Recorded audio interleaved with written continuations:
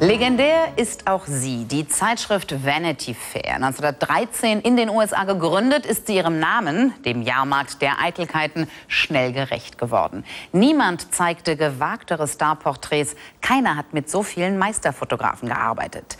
Die National Portrait Gallery in London stellt noch bis zum 26. Mai eine Auswahl der Vanity Fair Porträts aus. Wirklich sehenswert, meint Madame das.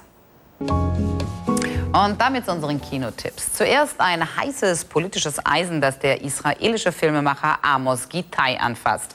In der Hauptrolle mein persönlicher französischer Lieblingsleinwandstar, die umwerfende Juliette Binoche, Ariane de Soler.